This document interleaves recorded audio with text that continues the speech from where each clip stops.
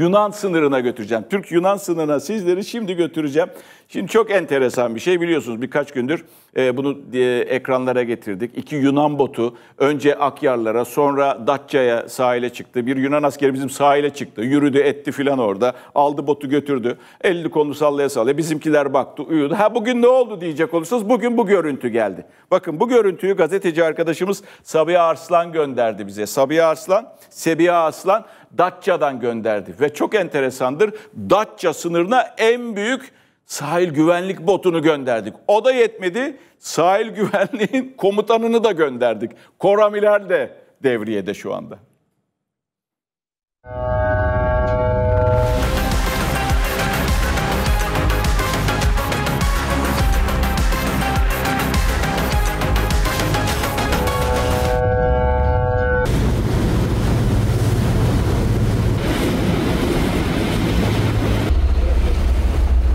Yunan sahil güvenlik botları Türk karasularını ihlal ederek Datça kıyısına yanaştı. Hatta sahile çıktı.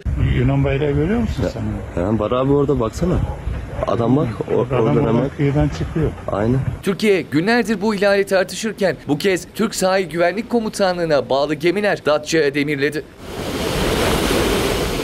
Datça ile Simi arasında çekilen bu görüntüler Türk Sahil Güvenlik Komutanlığı'nın denizde güvenlik önlemlerini arttırdığını gösterdi.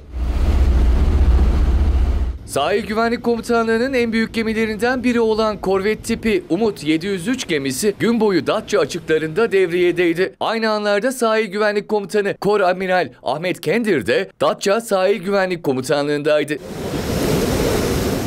Tüm yaşananların ardından İçişleri Bakanlığı'ndan bir paylaşım geldi. Bakanlığın yaptığı paylaşımda Türk bayraklı Barbaros 4 balıkçı teknesi Bodrum Akyarlar açıklarında avlanıyordu. Bir anda Yunan sahil güvenlik botu tarafından önü kesildi. Yunan sahil güvenliği taciz ateşinde bulundu. Türk sahil güvenlik komutanlığı harekete geçti. Yunan botu kısa sürede uzaklaştırıldı. Yunan sahil güvenliğinin Türk balıkçı teknesine yönelik tacizi akıllara Türk karasularını ihlal eden Yunan botlarını getirdi. Türk kıyılarında gezen ardından kıyıya çıkan Yunan sahil güvenliği üstüne üstlük bir kez değil iki kez sınırı aştı. Kaçıyor adam şimdi. Ha, aynen bak. İlk ihlalden 5 gün sonra İçişleri Bakanı Ali Yerlikaya sahil güvenlik komutanlığına gitti. Komutanlardan bilgi aldı. Tam bu bilgi kamuoyuna duyurulmuştu ki Yunan sahil güvenlik botu Bodrum'da, Akyarlar'da Türk balıkçısını taciz etti.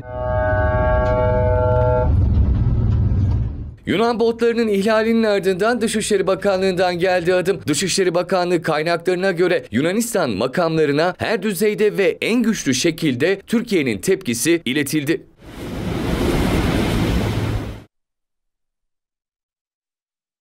Bu görüntüler daha yeni e, yeni elimize ulaştı. Birazdan zaten Anadolu Ajansı'na da düşecek. E, ilk defa izlediniz. Yani sen hududu deldiriyorsun. Hududun namusunu deldiriyorsun. Öyle bir namus kalmıyor artık. Ondan sonra korvet gönderiyor musun oraya en büyük hücum bot gemisini. O yetmiyor gibi komutanı da oraya gönderiyorsun. Sahil Güvenlik Komutanı Koramiler Ahmet Kendir. Ne işiniz var orada? Her şey bittikten sonra. He? Senin toprağına basıldıktan sonra, ne bileyim e, ta sınırlarına girdikten sonra, ihlal ettikten sonra sen onu yaptırmayacaksın. Yaptırmaman gerekir. Görevin zaten bu adı üstünde. Ama baksanıza kaç paraymış o?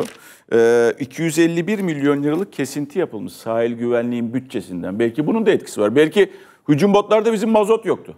O da olabilir yani. Alamadı belki mazot. Onu da olabilir. Ama bu geldiğimiz noktada acizliğin bir görüntüsü. Başka bir şey değil. Sen gitmişsin oraya koramil olarak. Ne olacak ki? Adam girmiş senin sınırlarına. Hudut namusun kalmamış, kalmamış. Şimdi sen gitsen ne olur? Korveti oraya göndersen ne olur? Golü yemişsin bir kere.